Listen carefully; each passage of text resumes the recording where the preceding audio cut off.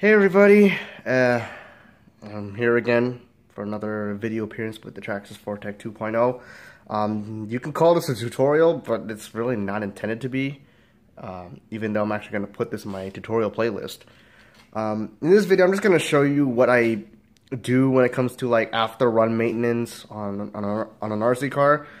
Specifically after street use, because I mostly drive RCs on the street even if it's an off-road vehicle like a Torment slash Bandit, Rustler, or whatever. And it can also comply to your street cars as well, like your like a 4-Tec or a HPI RS4 or any on-road car that you guys have. Basically any RC that you pretty much have.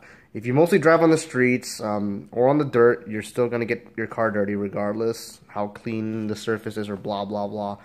But I'm mainly going to be focusing on the uh, after runs on the streets. Or on the street, I should say. Um, what I usually do is I just get a, I would actually use a, you can call this a painter's brush. Um, my uncle mainly uses this for uh, cleaning his RCs, so uh, he allows me to use this because it's fine with him.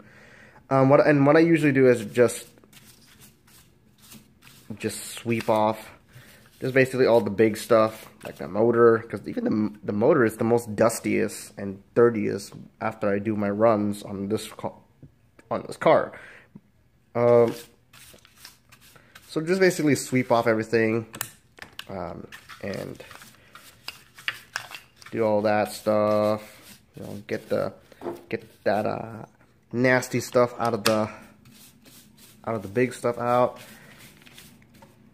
and yeah, so after after I'm done with that, I usually, if I want to get some of the small stuff uh, through, I would usually, uh, I would not usually, but I would I prefer using a, a very small toothbrush, not like, but any kind of toothbrush would actually work, but something small that you can actually go through the um, small spaces like, you know, there's like hard to reach areas where there are bearings here.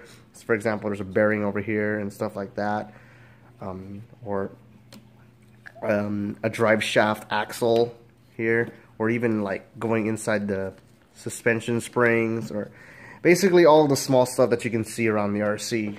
Um, all, excuse me, uh, off-road vehicles are more easier to do compared to like a on-road because the on-roads are like has a smaller wheelbase than than an off-road. But basically, uh, whatever I'm showing you is pretty much complies with any other RC. So basically, what I'm trying to say is use a a big brush just to sweep up all the uh, dirt on the big stuff, and then for the small, hard to reach stuff, you use a smaller old toothbrush and stuff like that.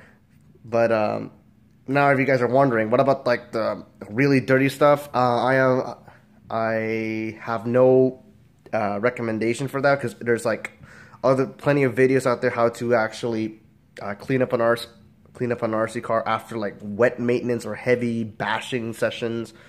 Uh, there are plenty of videos of on that on YouTube. I'm just here showing you what I usually do after I drive it on the streets because like I mostly drive on the on pavement rather than uh, off road. Sometimes I would just drive my Slash and Rustler off-road, but this is just my uh, what I do after I run my RCs, no matter if it's a street car or an off-road. Um, I'm mostly going to be driving on the streets. So that's it, guys. Um, yeah. And I hope you enjoyed that, and there will be plenty of videos of my 4-Tec running again, such as drift videos and running videos.